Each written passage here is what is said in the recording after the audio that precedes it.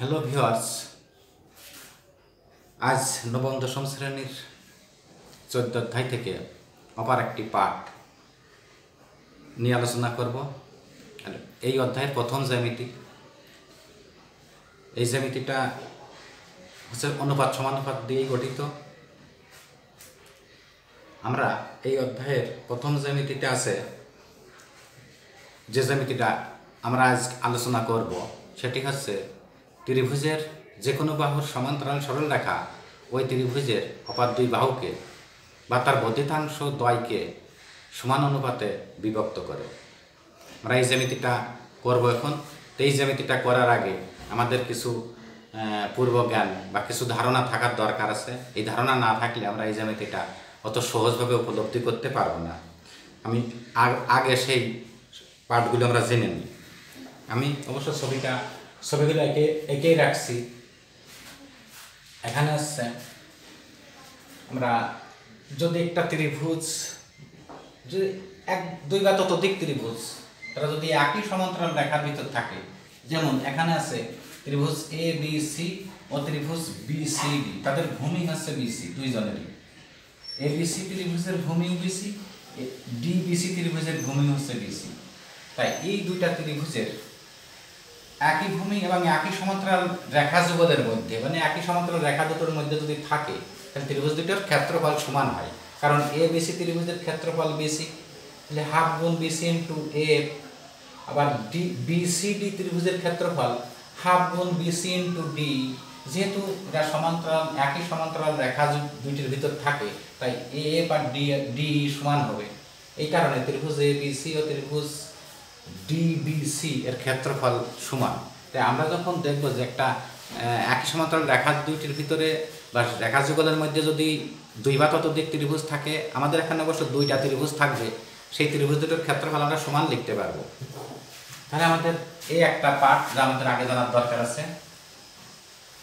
আর একটা আছে যে বাহুগুলো, কোনো বাহু যদি কোনো একটা বিন্দুতে অন্তস্থভাবে বিভক্ত হতে পারে, আবার বহিস্থভাবেও বিভক্ত হতে পারে। এই অন্তস্থভাবে বিভক্ত আর বহিস্থভাবে বিভক্ত যদি বুঝতে না পারা যায় তাহলে এই জ্যামিতির আহ, গুরুত্ব বা যে এর যে ভেদ মানে যে একটা কঠিনত্ব এই কঠিনত্ব থেকে মুক্তি মুক্তি পাওয়া যাবে না। যেমন আমরা যদি একটা এ বি একটা বাহু এ বি একটা বাহু মনে করলাম সি বিন্দুতে এম ইস টু এন অনুপাতে বিভক্ত করে এম ইস টু এন অনুপাতে। এই জায়গায় ওরা বিভক্ত হয়েছে এম ইস টু এন অনুপাতে। তাহলে যদি এম ইস টু এন অনুপাতে বিভক্ত করে, তাহলে আমরা আদি বিন্দু মানে এই বাহুটার আদি বিন্দু থেকে আমরা বিভাগ বিন্দু পর্যন্ত যাচ্ছি। যে জায়গায় বাহুটা বিভক্ত হয়েছে, তাহলে সেইটুকুর দৈর্ঘ্য হচ্ছে এম তার মানে এসি আর সেই বিভাগ বিন্দু থেকে তার লাস্ট বিন্দু মানে প্রান্ত বিন্দু পর্যন্ত, তার মানে সিবি তাহলে এসি ইস টু সিবি সমান এম ইস টু এন হবে। তাহলে আমাদের যেতে হয় আদি বিন্দু থেকে বিভাগ বিন্দু পর্যন্ত। এটা বহি- বহিস্থভাবে বিভক্ত হলেও যে নিয়ম অন্তস্থভাবে বিভক্ত হলেও একই নিয়ম। তাহলে আমরা যদি এই যে যে বাহুটা আছে এ বি এটা এটা হচ্ছে আমাদের AC is to C B মানে এম ইস টু এন এইটুকু এম এইটুকু এম আর এখন যদি আমাদের এই বাহুটা এ বি যদি সি বিন্দুতে এ বির বাইরে কোনো বিন্দুতে বিভক্ত হয়, যেরকম সি বিন্দুতে বিভক্ত হয়, তাহলে আমাদের এখানে এই আদি বিন্দু থেকে একদম প্রান্ত মানে আদি বিন্দু থেকে বিভাগ বিন্দু পর্যন্ত যেতে হবে। মানে আদি বিন্দু থেকে বিভাগ বিন্দু আমাকে সিতে যেতে হবে। তাহলে আমি জায়গায় ডট ডট দিয়ে রাখেছি। এসি এসিকে আমি এম মনে করে নিলাম। এর সাথে মিল নাই। এবং এর সাথে আমি এদের আমি পি আর এটা দিলাম কিউ তাহলে আমি আদি বিন্দু থেকে আমি বিভাগ বিন্দু পর্যন্ত গেলাম। কীভাবে? এসি তারপরে আমরা বিভাগ বিন্দু থেকে আবার প্রান্ত বিন্দুতে যাব এবার। তাহলে সিবি এটাই হবে এসি ইস টু সিবি সমান পি ইস টু কিউ হবে এটাই তাহলে আমাদের যদি এখানে একটা একটা বাহু এ বি কে যদি আমার ডি বিন্দুতে অন্তঃস্থ বিভক্ত হয়, তাহলে A B is to BD হবে। আর যদি আমার এ বি বাহুটা যদি ডি বিন্দুতে বহিস্থভাবে বিভক্ত হয়, তাহলে আমার A D is to BD হবে। এই জায়গাতে যদি আমাদের A D is to BD হয়, তাহলে আমার এই জায়গাতে বিভাগ বিন্দু ডিতে আসতেছে, তাহলে A D is to BD হবে। একইভাবে এটা AC A is to C A is to EC হবে। এরকম।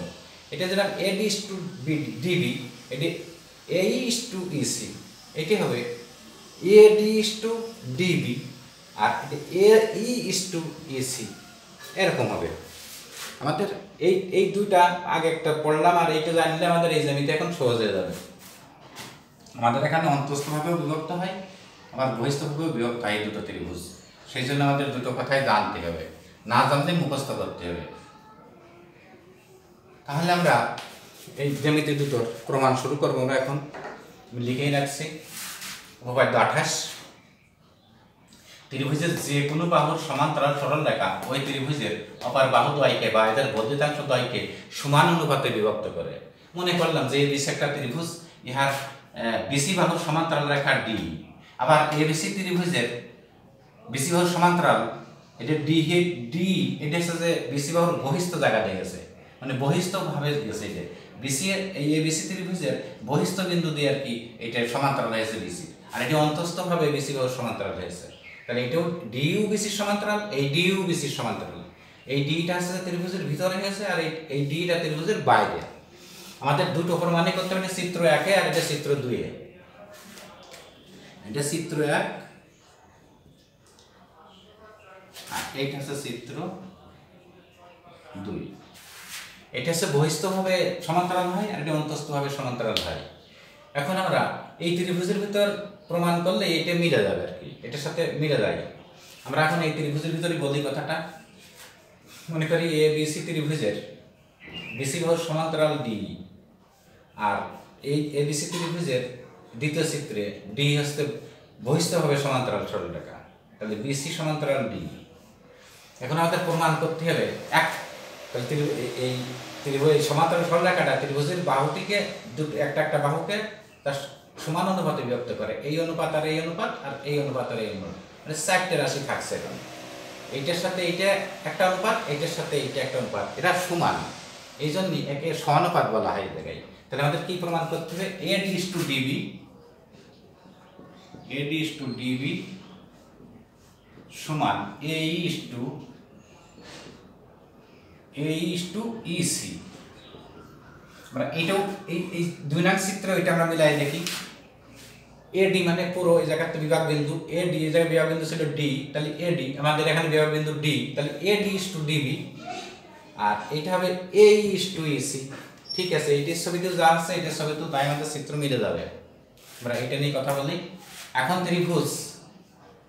এ ডিই ও ত্রিভুজ বিডিই ত্রিভুজ এ ডিই ত্রিভুজ এ ডিই ও ত্রিভুজ বিডিই বিডিই তে।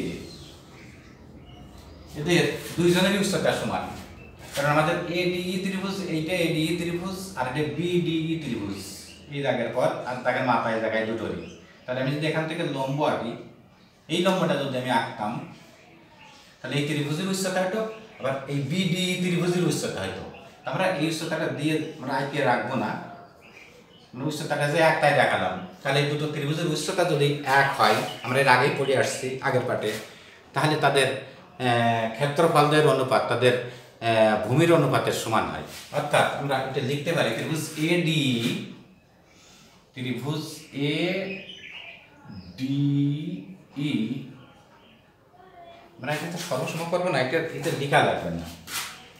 আমরা এখন এই জায়গায় লিখতে পারি ত্রিভুজ এ ডি ই ও ত্রিভুজ বাই ত্রিভুজ B D E B D E সমান A D by B D এখানে তাদের ভূমির অনুপাতের সমান হচ্ছে এই ত্রিভুজের ভূমি এডি আর এই ত্রিভুজের ভূমি বিডি আমি সেটা তো এক আমি আঁকিনি বিডি নাম্বার ওয়ান। এখন আমরা এইটার বেলাও তাই হচ্ছে, ত্রিভুজ A D A A DE পুরোটা বাই ত্রিভুজ বিডিই ত্রিভুজ বি বিডিই মানে এই ত্রিভুজটা, আর এই পুরো ত্রিভুজটা, তাকে হচ্ছে তাও এক তাহলে এই এ এডি বাই বিডি এটা হবে। আর একইভাবে আমরা এই এই দাগের পর এসি দাগের পর, ত্রিভুজ এ ডিই আবার ত্রিভুজ এ ই বাই ত্রিভুজ ডিই সি ডিই সি সমান এদের এই দুটো ত্রিভুজের উচ্চতা সমান হবে। এই যে এটি উচ্চতা, এই এই আছে ভূমি আর সি আছে ভূমি এটার ডিসি এর ভূমি আছে সি আর এ ই এর ভূমি বাড়ি মানে আমরা ভূমি এখন আমরা যখন এই দাগের পান নিচ্ছি তখন ভূমি এইটি হবে, আর তখন এইটি হবে। উচ্চতাটা মিশিয়ে দিই। এদের উচ্চতা সমান, তাহলে তার ভূমির সমান হতে হবে। তাহলে এ ইস টু এই বাই ইসি মানে এই ত্রিভুজের ক্ষেত্রফল আর এই ত্রিভুজের ক্ষেত্রফল এই টু এসি হয়ে গেল। এটা নাম্বার দুই দিই। এখন আমরা দুটো সমান্তরাল সরলরেখার মধ্যে দেখি। এই দুটো সরলরেখা আমরা এই এই চিত্রের মধ্যে মানে এটা মিলাতে পারি। ত্রিভুজ এ ডি মানে ফুল ত্রিভুজ বাই ত্রিভুজ ডিসি ত্রিভুজ ডিইসি এই ত্রিভুজ। এই এই বড় যে ফুল ত্রিভুজ তার উচ্চতাও যা হবে ত্রিভুজ ডিসির উচ্চতাও তাই। এদের বেজ হচ্ছে বড় ত্রিভুজের বেজ হচ্ছে এই আর ছোট ত্রিভুজের বেজ হচ্ছে সি এতে মিলে গেছে। উচ্চতা যখন এক? এখন আমরা এই ছোট ত্রিভুজের মধ্যে হিসাব করি যে এদের বেজ মানে লাল কালি দিয়ে দিয়ে বেজ হচ্ছে ডি। এই ডি আর সমান্তরাল রেখা আছে ডি আর বিসি তাহলে এই ডির পর ডি বি একটা ত্রিভুজ আর ডিসি একটা ত্রিভুজ। এই যে একটা ত্রিভুজ আর এই যে একটা ত্রিভুজ। এই দুটো ত্রিভুজের ভূমি ডি এক এবং তারা একই সমান্তরাল রেখার মধ্যে অবস্থিত বা একই রেখা একই সমান্তরাল রেখা যুগলের মধ্যে অবস্থিত। তাহলে আমরা ত্রিভুজ দুটোর ক্ষেত্রফল সমান লিখতে পারি যা আমি আগে দেখাইছি। তাহলে ত্রিভুজ অতএব আবার হ্যাঁ, অতএব ত্রিভুজ DE B D E B সমান ত্রিভুজ ক্ষেত্র ডিইসি ডিইসি এটা ডি বিডিই আর বিডি আর ডিবি এক। এই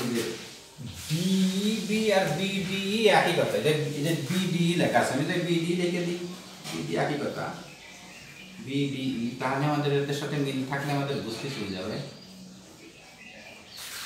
আমাদের এই দুটো ত্রিভুজের মধ্যে, এই পাশে ডিসি একটা ত্রিভুজ, আর এই পাশে ডিসি এই পাশে একটা ত্রিভুজ, আর এই পাশে একটা ত্রিভুজ। ভূমি আছে ডি নিয়ে এই ত্রিভুজ একটা আর এই ত্রিভুজ একটা এটা একই সমান্তরাল দেখা যুগলের মধ্যে আছে তাহলে ত্রিভুজের ক্ষেত্রফল সমান। এখন দেখা যাচ্ছে যে আমাদের এই এক নং আর দুই নংয়ের এডি আর এডি উপরের দুটো সমান, বাম পাশের।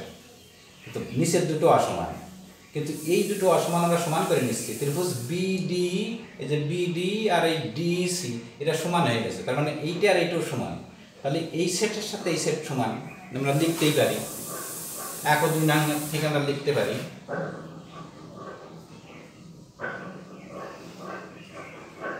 আমাদের আর ছবি লাগবে না। সুতরাং অতএব অতএব আর এটা সমান হয়ে গেল। তার মানে এই বিডি আর ডিসি যখন সমান হয়ে গেছে, তাহলে এই সেট আর এই সমান। অতএব এক ও দুই থেকে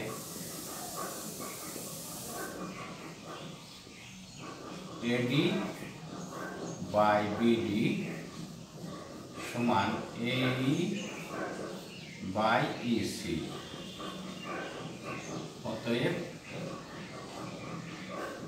এ এডি বাই ডি আছে অতএব এডি ইস টু বিডি সমান এই ইস টু ইসি প্রমাণিত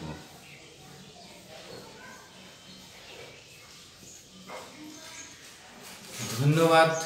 আমাদের পাঠ আজ এই পর্যন্তই।